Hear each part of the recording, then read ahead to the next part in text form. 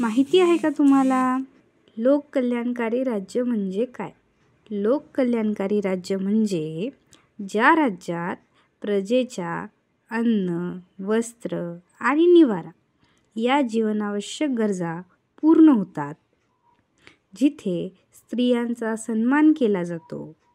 सामान्य जनतेची शेतकऱ्याची फसवणूक होत नाही कोणावरही अन्याय होत नाही. अशा राज्याला लोककल्याणकारी राज्य असे म्हणतात.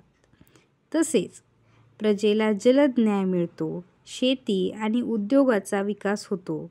लोककला बहरू लागतात प्रजा सुखा समाधानाने राहते. अशा राज्यास लोककल्याणकारी राज्य असे म्हणतात.